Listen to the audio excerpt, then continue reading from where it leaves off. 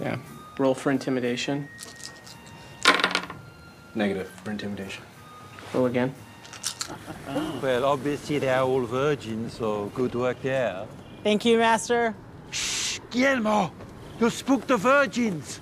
Your accent. I will join. One.